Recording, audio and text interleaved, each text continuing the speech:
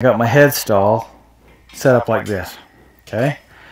Now I'll take my right hand under the mule on the side of her her her head here and I'll tip her nose to me. Then the first thing I do is just catch the nose with the right cheek piece on your head stall like this. So my snaffle bit is up under her chin. I got this, she's right here.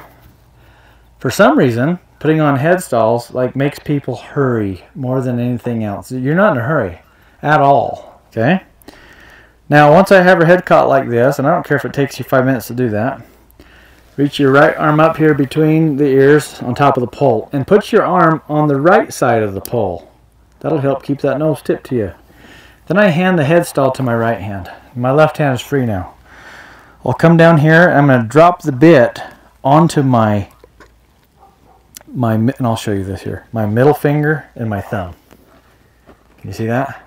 So my this finger sticking out. It's balancing on my middle finger and my thumb. Okay, let's go again, Hannah.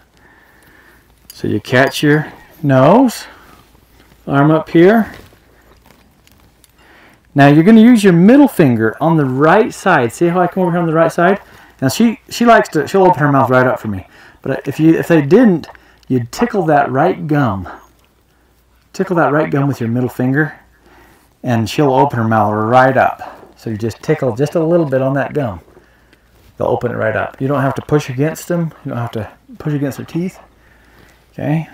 Now, once I have their have their the bit in their mouth, I'll take my right hand, right ear first, ear always forward, left ear second, ear always forward. See how I push the head stall forward and push your ear forward? See all this room I got? You won't get one head shy if you do that. Then I'll tighten up the head stall. Then I'll do my throat latch. Okay. Then the reins go on. Alright. Now Hannah's obviously had practice of that. She's got a lot more rides than these babies do so far.